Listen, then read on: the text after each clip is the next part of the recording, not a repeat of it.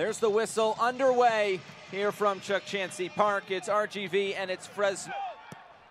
Fresno, the dominant home side, headed down for Lawal. Brings it onto his left foot, his shot, and it's in!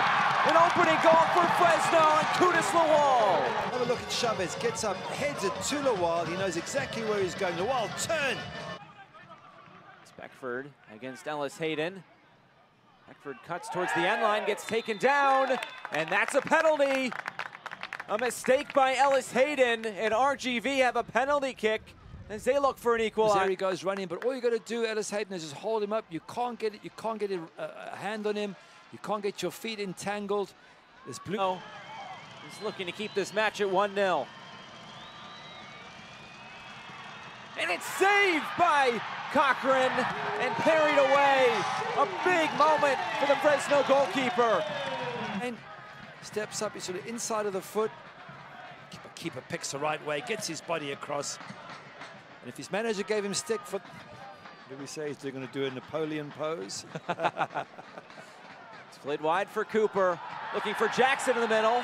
Player goes down, and it's a penalty for Fresno. And a yellow card will be issued as well. And this is to the captain, Connor Donovan. Another penalty, but this time for Fresno. Penalty taker.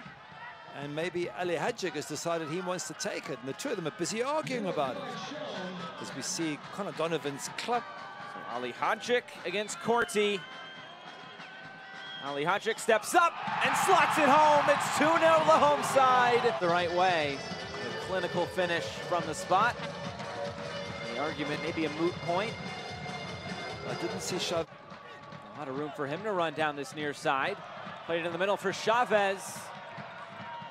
Martin was making the run. Chavez will take this on his right foot, and he finds the right corner. There's Jackson's pass.